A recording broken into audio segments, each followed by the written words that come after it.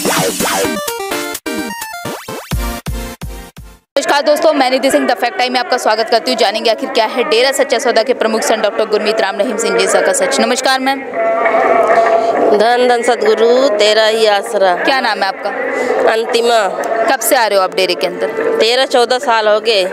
Ma'am कैसा माहौल देखा है आपने? सब कुछ हमने अच्छा ही देखा है।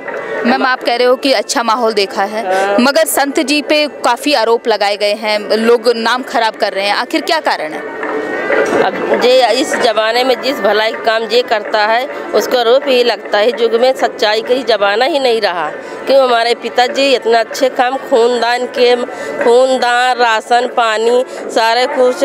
भला जो बच्चे इंसान उधर मसाला में, उधर सब बच्चों को पढ़ाते हैं, स्कूल भेज, सारा कुछ है। पर हमारे पिताजी इतना भलाई काम करते हैं, इतने लाखों बच्चे हैं इनके लिए तब भी आज सरकार ने इतनी रोक लगा रखी है। कोई सुनवाई हमारे पिताजी के लिए मैं पिताजी के बिना एक पल भी नहीं रह सकती हूँ। हमारे पिताजी माँ बाप से अपने ही ज़्यादा प्यारे हैं, हमारे सतगुरु दाता। धन धन सतगुरु, तेरा ही आसरा मैम, आप कह रहे हो संत जी पे इतना भरोसा है आपका। क्या कारण है? आखिर इतना भरोसा है? इतना भरोसा है कि हमारे गुरुजी, हम सब जानते हैं, हमारे गुरुजी पे इतना भरोसा है कि सब लाखों बच्चों जो कहे, खूनदान, महादान, डॉक्टर या कोई बीमारी या कोई भी हो, सारे कुछ हमको रहम करम से ही अच्छा होता है। यहाँ का पान प्रसाद भी खा लो, अब सब अच्छा हो जाएगा अच्छी तरह से। मालिक यही पे भरोसा है। धन धन सतगुरु तेरा ही आश्रय। मैम, संत जी जैसे समाज में अभी नहीं है तो क्या फ़र्क पड़ रहा है समाज पर इसका संत जी के ना होने का? फ़र्क कोई नहीं पड़ रहा है पर पिताजी होते दो घंटे एक घंटे सत्संग भी करते अच्छी भला बुरा अच्छी भलाई की बात बताते हैं सबको ज्ञान होता सब बच्चे रो रहे हैं मालिक के बिना। सदगुरु दाता अभी आए कब आएँगे? जल्दी आए हमारा सबके बीच रहे कर्म बरसे। धन धन सदगुरु तेरा ही। आशीर्वाद। मैम अभी समाज में भलाई के क्या क्या कार्य कर रहे हैं संत जी?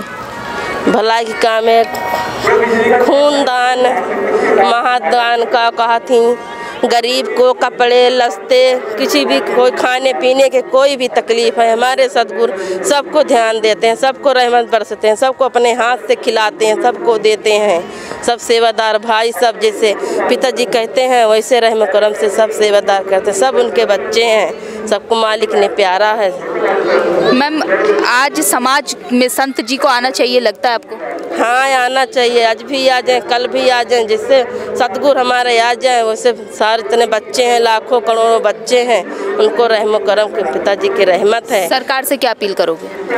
सरकार से यही कहना है कि हमारे पिताजी आजकल जैसे ही जल्दी हो सके वैसे हमारे पिताजी आ जाए लेकिन सरकार ही सुन ही नहीं रहा है। भला बुरा कोई ही जमाना ही नहीं रहा। सरकार क्या समझे? सरकार हमारे लिए कुछ नहीं है। हमारे सब कुछ हमारे पिताजी ही हैं। हमको पिताजी ही चाहिए। कोई इंसाफ नहीं है इस जमाने में। बहुत बहुत धन्यवाद।